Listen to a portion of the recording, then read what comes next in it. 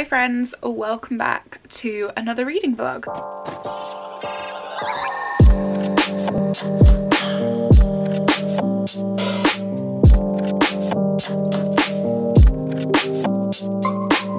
Okay, so I promised I was going to start this vlog with makeup on and I have not because it's halfway through the workday and I haven't had time yet. And honestly like I just really want to start this book now on my lunch hour and I didn't want to miss vlogging the start of the book. So you've got no makeup Lucy. Enjoy. So at the start of this year I posted a video and I basically said that I really wanted to do some um more spoiler filled reading vlogs centered on like one specific book and my reading experiences with those books and this is the first of those reading vlogs. Today we're going to finally delve into Jade City by Fonda Lee. I've seen this book literally everywhere recently. I feel like it's been popular for many years but it's just kind of having another like hype resurgence at the moment on booktube and also on BookTok.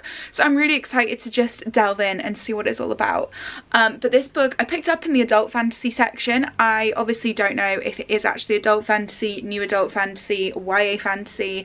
I don't really know what it is yet because i've not started it. But yeah i picked it up in the adult fantasy section and essentially this is like an asian inspired urban fantasy centering around two rival gangs and the um theft of jade which essentially is like a obviously a jewel that people are using to gain power.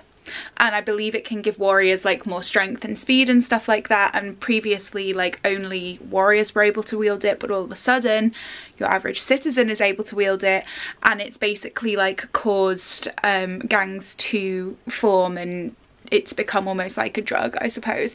So yeah I'm really really excited to get stuck in. I have read the first page and there's already two quotes that I really want to underline but I'm trying not to annotate this book because I'm annotating Jane Eyre quite closely right now for university and honestly I just need a book that I'm not like close close reading in that sense.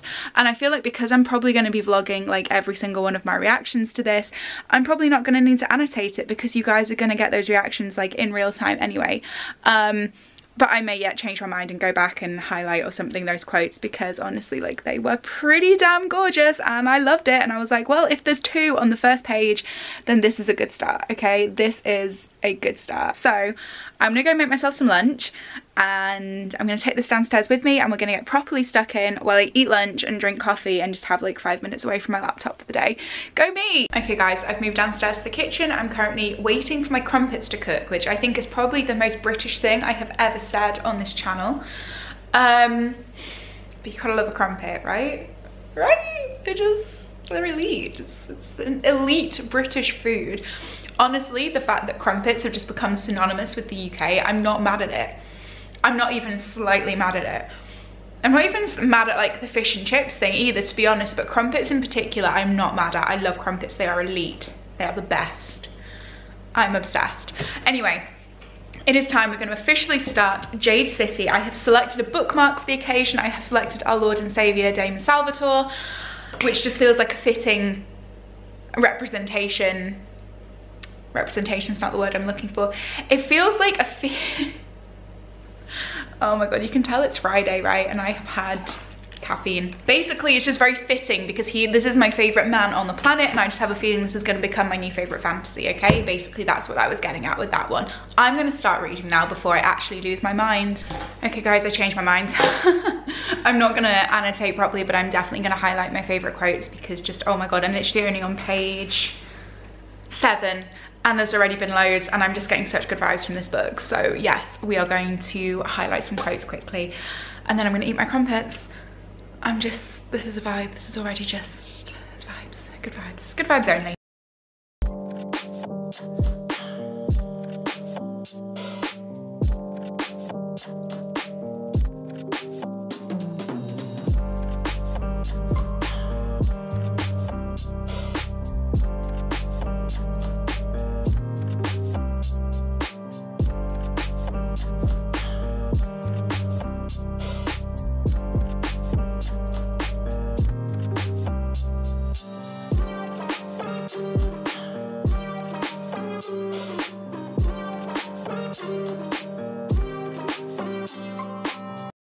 Okay guys, I've read chapter one. current thoughts and i'm not going to do this for every chapter by the way don't worry but obviously it's just you know the opening of the book and i'm excited so chapter one it's got off to a bang i love it when fantasy authors just drop you straight into the action not in like a game of thrones kind of way where the first chapter has you literally reading it like i don't understand anything that is going on right now or anything these people are saying but from like an accessible point so you kind of immediately understand what's happening but you're just like in the action. Like this literally kicks off with like a jewel heist. Well it's not really a heist well it's kind of a heist a theft a jewel theft right? And immediately like there's tension there's excitement you're introduced to one of the gangs you're introduced to two to two petty criminals you're immediately kind of aware that there's like an issue going on for the gangs because they're talking about this i think his name was like three fingered G. Is that what he's called? G, yeah. Three fingered G, who's like some jade miner or something and he's like gone missing or he's dead or yes you're you're immediately like thrown into just kind of the world but in a way that's like accessible and I really appreciated that and I love the fact that it started with like a theft because you've also seen the effects of Jade you've read something that's like sucked you in and has made you immediately interested in the story and the world building has begun all in one chapter. And I'm like yes more of this. More of this please. More of this. Thank you. Okay I'm not gonna go and carry on eating my crumpet undisturbed but yeah that's just I needed to appreciate Fonda Lee for a moment there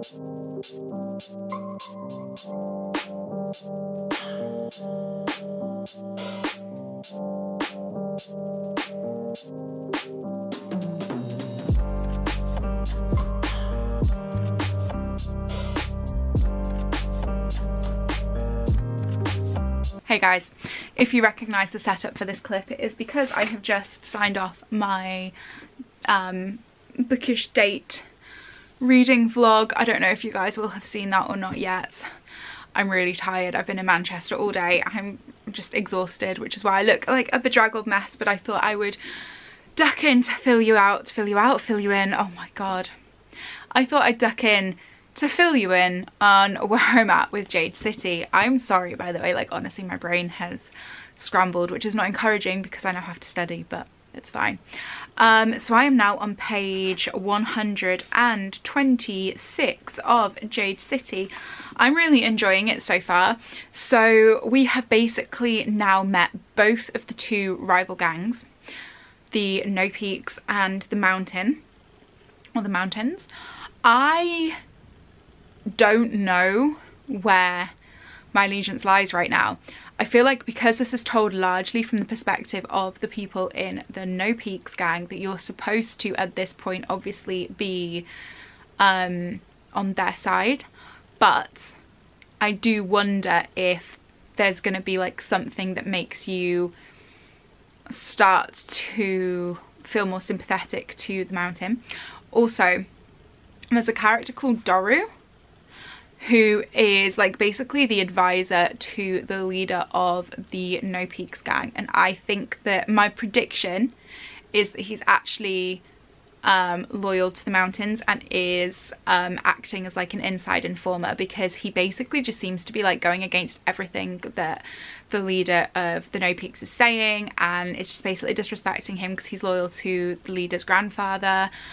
Um, so yeah that's my prediction um, because there's basically just been a situation where one of the cousins of the guys the leader of the no peaks has been like taken by the rival gang and I think bad's happened to him but they basically kind of want to use him as like almost like a bargaining tool to unite the two a little bit and kind of help to keep the peace. Um, and Doru straight away is just basically trying to push the leader of the No Peaks into accepting the terms that the mountains set aside, even though he doesn't really want to do that. And he's like, actually, hang on a minute, like, there's other ways that we can kind of like approach this political situation basically so it's really interesting um, and then we've actually just had a really short little chapter with the two jade thieves that we saw in the first chapter um, I didn't realise, like I just thought they were, you know, just there to kind of kickstart the action, but we've just had another chapter with them, so I wonder if they're going to be kind of like an actually more like central role in the story than we thought at first. Um, so I wonder with them if they're going to get somehow caught up in the wars between the two, and I think they will probably choose allegiance with the mountains because obviously it was the no peaks that basically stopped them from stealing the jade. Um, I realise that none of that will have made sense unless you've read this, so I don't know if I'm doing a very good job of doing a spoiler-filled reading vlog. I don't think I've ever done a spoiler-filled reading vlog actually before, so I don't know. But anyway, that's what I'm thinking so far. Um, but yeah, I'm really enjoying it. This is definitely an adult fantasy and I'm really happy about that. Um, it's very accessible adult fantasy, so I don't think that it would be impossible for a younger audience to access but just the characters obviously are like in their mid to late 20s and um, there's already been like kind of sexual themes and stuff so I definitely think this is more adult or new adult at least than YA. Um, I did actually have a look in Waterstones today to see if I could pick up the second one and they didn't have it. They had this one and the new one, the third one, so I didn't pick that up. Um, but yeah, I'm enjoying it. I'm really enjoying it. Um, I want to read, I'd like to try and get to the halfway point today. I don't even know how many pages there actually is in this. I don't want to spoil myself. It's like about 500 pages. So I'd like to maybe get to page 200 tonight or 250, but honestly I don't know if that's going to be possible because I do have to go and study now. Um, and I'm reading Jane Eyre at the moment and I have like 50 pages of Jane Eyre that I now have to read before I go to sleep and then a load of like analytical stuff that I've got to do for that. So I don't know if I will finish it tonight, but I'm going to try and do yeah, I'm going to try and get to halfway tonight and then I'm going to try and read a lot more tomorrow because I'd like to finish it on Monday because Monday is the last day of January and I don't want to take this through to February because I've got major reading plans for February and yeah, basically that's where we're at. I am going to go because I really need to go and start studying um, but I will try and fill you guys in later on if I have any more thoughts and I'm definitely going to obviously do some updates tomorrow. I'm going to film some other videos tomorrow as well so it's going to be a big old day tomorrow yeah. Okay i'm honestly i think i'm losing it. I'm a little bit like i'm gonna go. I will speak to you later. I love you. Good morning guys, it's Sunday morning. I have put workout clothes on with the idea that it at least will help me look like I have my shit together even though I absolutely do not have my shit together. I look really tired and just really gross today, mostly because I am really tired and I feel really gross today, but it's not COVID. I just did a test and I'm negative, so um, but anyway, I am currently having a little read of Jade City and we have just learnt some more about Doru, the character that I said is like the weatherman who um, is basically the advisor to the leader of the gang. Um, and I said last night that I think he is a shady character. I think he is oh sorry my throat is a mess i feel like he is like sharing information to the rival gang or like not actually loyal to the no peaks.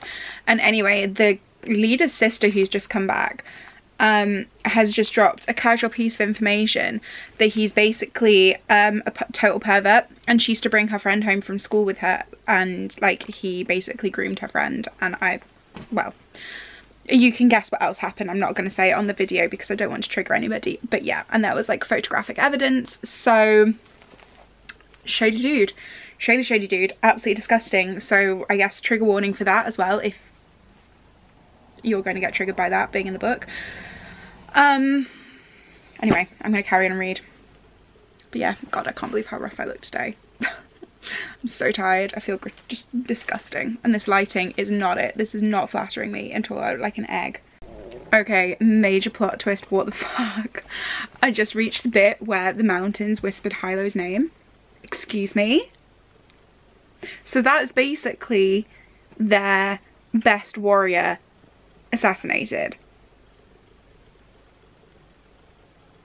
I'm shook, like I thought it was going to be Lan because he's the one getting his rocks off in a brothel I thought I thought that the woman was gonna like turn on him and, and stab him or something, but no.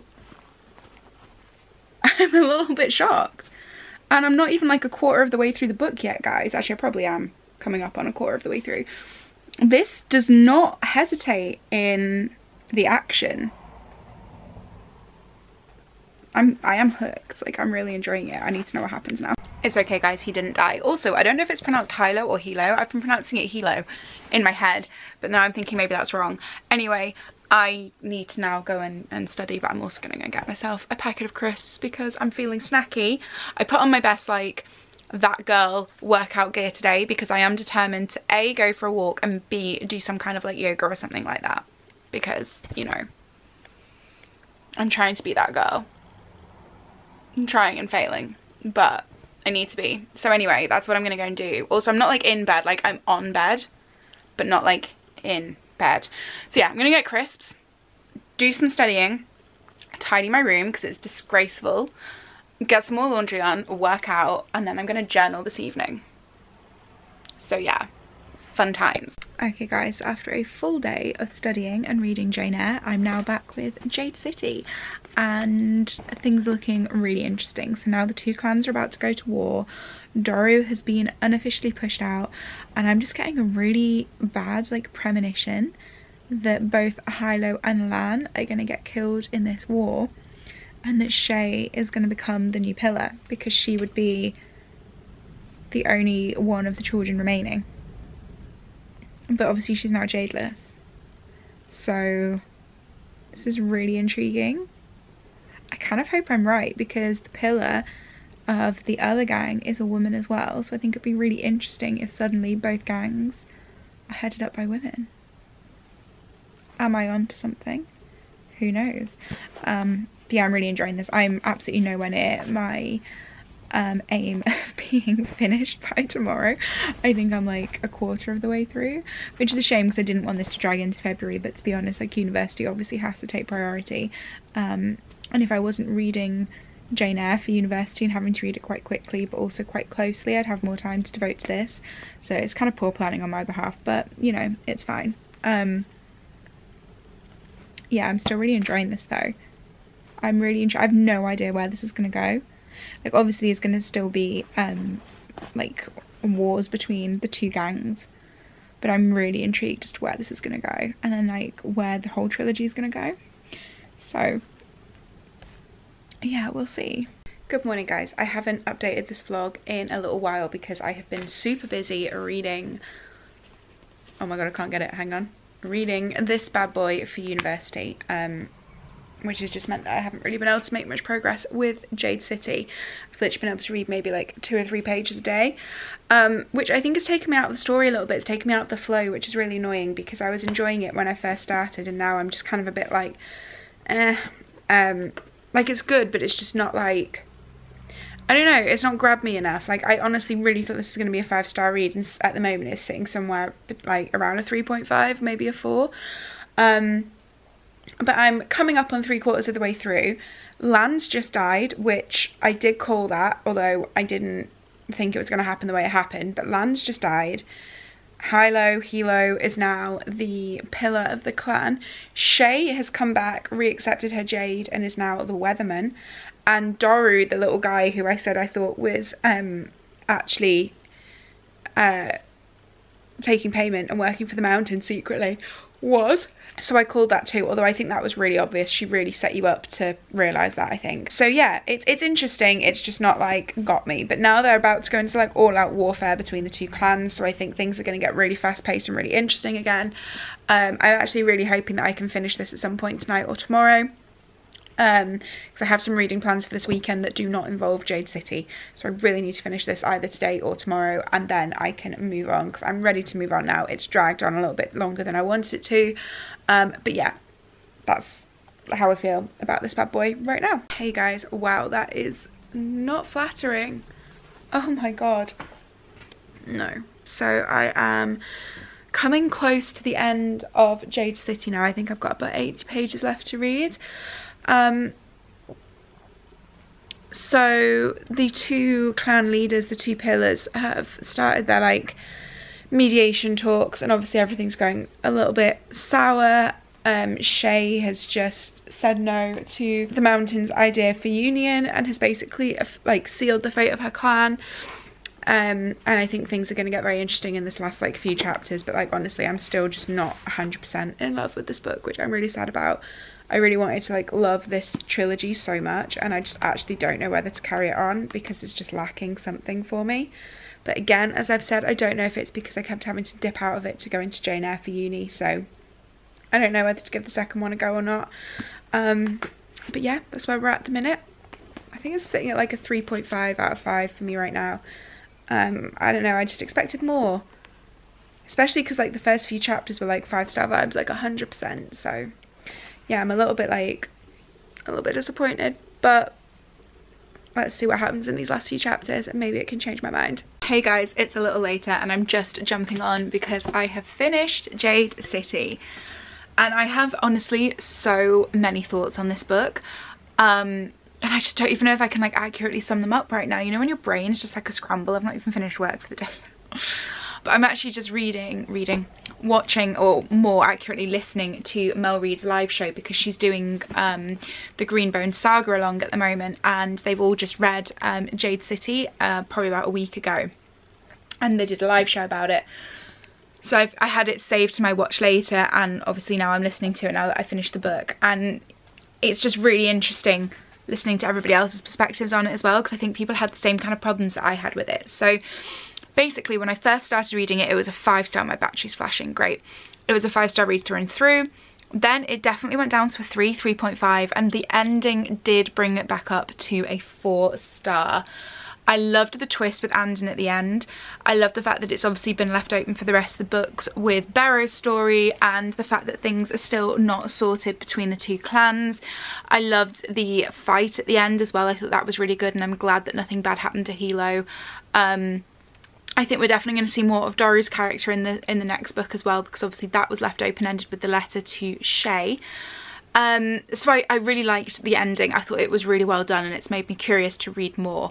Um, and I really enjoyed the discussions around kind of addiction and drug use as well. I thought that was really interesting, especially because obviously it's in like a gang related urban fantasy novel, which draws so many parallels to actual modern society and the drug problems that we have in cities and the gang related issues. Um, so I thought it was really cleverly done.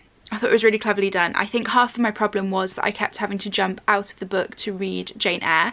And when you go from something like that to like 19th century Gothic literature and then you go back, it's just very, very different, different and difficult to kind of wrap your head around both at the same time and I think that's the only thing that really detracted from my reading experience. I think if I hadn't had that I'd have raced through it a lot quicker and I think staying in the narrative the whole time I'd have been more hooked. For me the reason why I didn't get a five star rating was simply because I just didn't find myself too attached to the characters which is a shame because like when Lan dies, when Hilo's life's at risk, all of those kind of fight scenes and everything towards the end I wanted more of a sense of urgency and a sense of like sense of like emotional connection to the characters and I just didn't have that but I think that's more because of my reading experience than the book itself.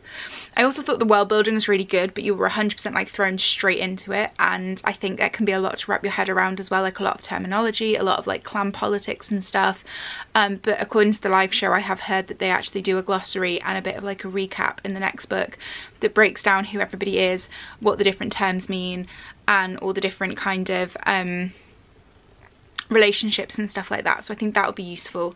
I am definitely going to read the next one and see what I think. I don't know when I'm going to read it because I have huge TBR at the moment as you guys will already know um, but I may break my book buying ban to get the next one and just finish it because I'm trying to finish a lot of series this year but we shall see. Anyway I'm going to end the video here before my battery dies on me but I hope you guys enjoyed it. If you've read Jade City let me know in the comments what you thought. Um, I'd love to kind of open up the discussion a little bit and I want to get back into doing kind of longer review videos as well similarly to how I did my Southern Book Club's Guide to Slaying Vampires video which is actually my favourite video I've ever done. Um, so if you'd like to see some more kind of like in-depth reviews like that on this channel please let me know but I hope you've enjoyed the first of these kind of singular reading vlogs for um, series. I know I'm going to do it for the Plated Prisoner series as well, which you've discussed. I might also do it for Zodiac Academy. Um, I don't know yet, but there's, there's going to be a few of these that come up this year. So yeah, I hope you enjoyed it. Please subscribe if you're new and I'll see you in my next video very soon. Bye guys.